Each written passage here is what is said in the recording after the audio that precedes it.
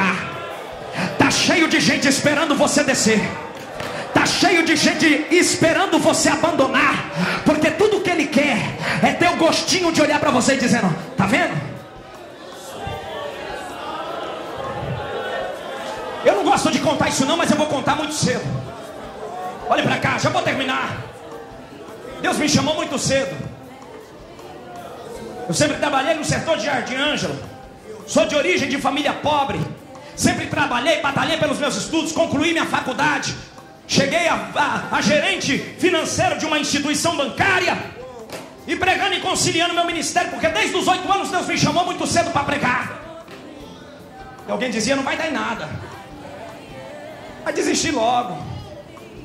E quando eu estava no ápice do meu auge financeiro, entrando para uma faculdade para fazer uma pós-graduação na área em que eu trabalhava. Um dia eu fui pregar no Ceará. E aí quando eu fui pregar no Ceará, que eu entrei na igreja, terminou o culto, um presbítero baixinho me chamou e disse, pastor, o senhor tem coragem de orar pela minha, minha avó? Ela é uma senhora que mora bem no sertão do Ceará, leva umas duas horas de carro lá, vamos lá? Vamos. Eu achei que ia orar por ela, quando cheguei lá, o negócio inverteu. Ela sentada numa cadeirinha de balanço, não podia andar com a perna cheia de trombose. Ela olhou para minha cara, balançou o óculos, colocou bem na cara e disse: Nunca te vi. Mas o Deus que te conhece, ela também não sabia que eu tinha vindo de São Paulo, disse: Tu veio do sudeste deste país, e sobre a tua cabeça tem uma bandeira das nações. E Deus disse para mim: Quando tu chegar em São Paulo, eu fecho a porta, tu vai depender de mim. Tu vai viver para mim, eu vou te sustentar, serei teu pai, serei teu nada, serei teu tudo no dia do teu nada. A minha esposa estava noiva de mim e eu liguei para ela. Ela nunca se opôs ao meu ministério, porque se você quiser casar, case com alguém que abraça a tua chamada. Se você quiser casar, case com alguém que gosta de igreja. Se você quiser casar, case com alguém que ama Jesus, ama a Bíblia, gosta da escola dominical. Não tinha telefone na cidade, na casa da irmã não tinha. Eu liguei lá da cidade de Tapipoca do Orelhão e disse: Amor, eu tenho um negócio para te contar. Você sabe que noiva quer casar com véu, grinalda, quer festa, quer tudo. E eu disse: Não vai ter dinheiro. Você está preparada para casar com o pé rapado? Porque eu vou ficar desempregado. Deus usou uma mulher aqui e disse que a porta vai fechar.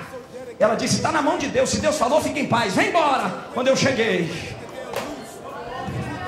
estava tendo uma remoção. O banco estava fazendo migração para uma outra instituição financeira. E como era um dos últimos que havia sido promovido, a minha gerente, geral da agência, olhou para mim e disse: Todo mundo aqui tem perfil, você é o melhor. E ela era espírita. Mas ela disse: Eu tenho um negócio para te dizer. Você não é gerente de banco, você é pastor. E por isso eu tenho que te demitir. Eu estou te demitindo com alegria, porque eu sei e eu vou ver que você vai espalhar essa mensagem por todo mundo. Você é pregador do Evangelho. Eu ainda lutei, saí do banco e Deus me provou, porque quando Deus nos chama, Deus nos prova.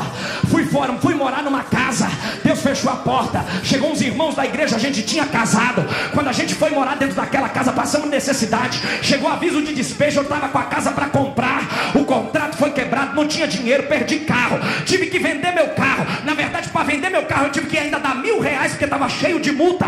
Ninguém conseguia pagar minha dívida.